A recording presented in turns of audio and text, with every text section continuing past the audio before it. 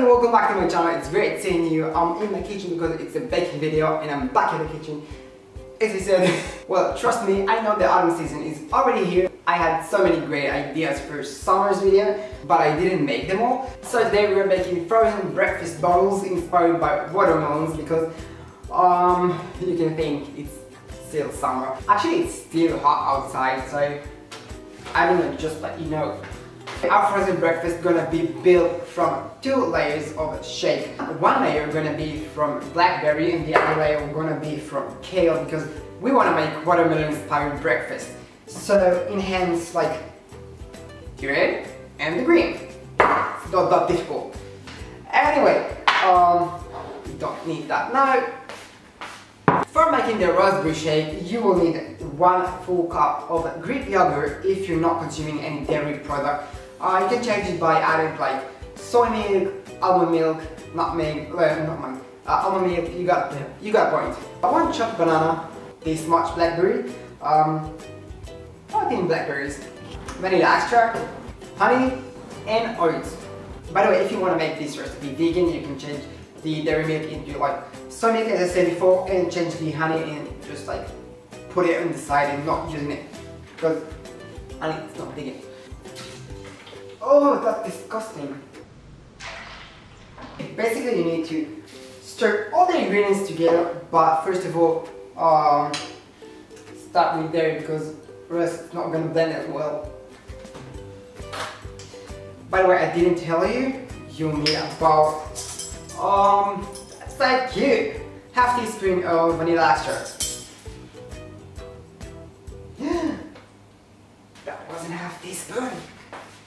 And the amount of honey that you're using, don't forget, depends on you. Um, I basically recommend for that amount of a shake to add about um, one tablespoon, that's enough. Uh, because you have the banana, it's kind of sweet, and you have like the blackberries, so it's kind of sour, so it combines great together. Oh no, you know what? I have a squeeze up. About one tablespoon. Don't forget to close the lid, it's a very important step when making shake. Uh, so,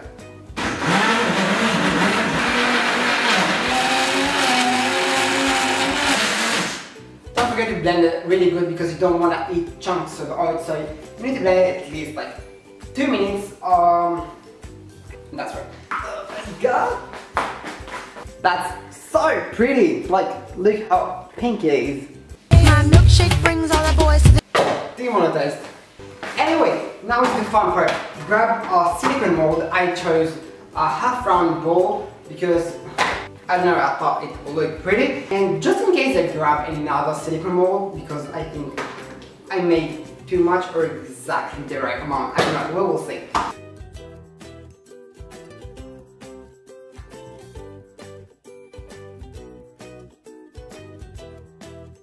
Small notes, when you fill the mold, don't forget to fill them about two-thirds of the way. I don't know, but I feel the red color is supposed to take most of the place instead of the green because you know when you slice a uh, slice of watermelon, you see like the red and you have like a small stripe at the end of green. So, um, that's why. You need to be very gentle. After you pop them into the fridge, wait about one hour before adding the green layer because you don't wanna you want to have a clean layer between the red and the green and if the red is not hardened enough uh, it will spill and combine all together and not gonna be great looking. Charlie, what the f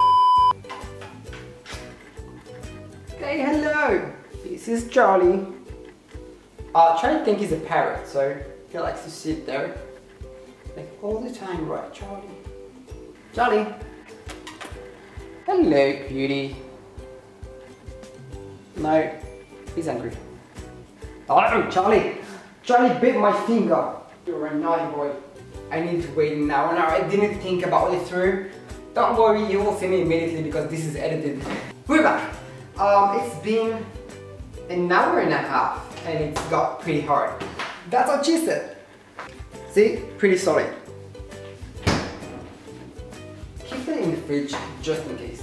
For making the green shake, you will need one sliced banana, half cup of oats, half cup of Greek yogurt, honey, vanilla extract and about half teaspoon of matcha powder and kale. I didn't really measure it, but you will need that much, like a bowl. Let's shake it all together. Have sliced banana, oats, kale, about fourth of a teaspoon of vanilla extract, and half teaspoon of matcha powder.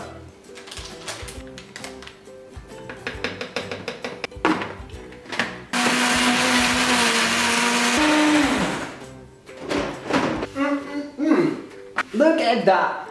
Amazing! Natural and healthy and what I'm doing. Pop your mold out from the fridge and add the grill layer.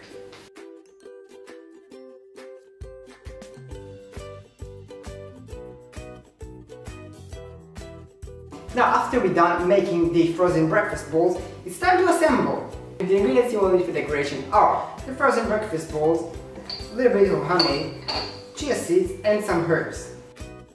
So what I want you to do is to spread honey all over the frozen breakfast balls and then brush it with a brush. I have like a silicone brush here. And spread chia seeds all over the top because I wanted to imitate the look with an actual watermelon slices. And then garnish with herbs on top.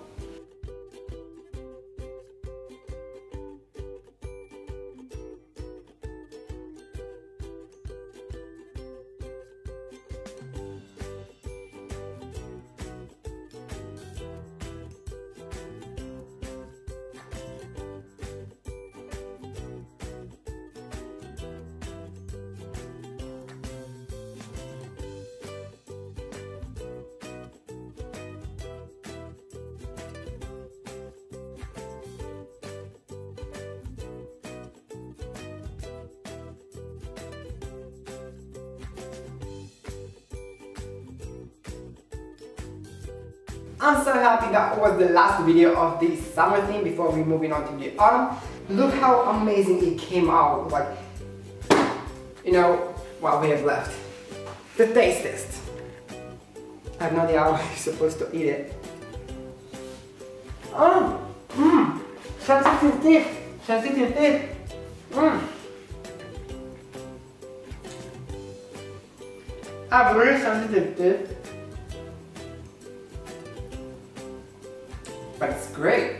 It's melting on my hand. You probably need to eat that um, with a fork and spoon or something with a knife. Um, but it's really tasty.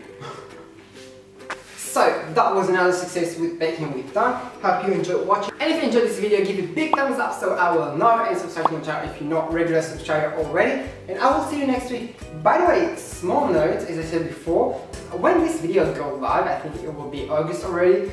Uh, so since August, since the 1st of August, I will upload two videos per week, one bonus. Um, that's it. I will see you next week.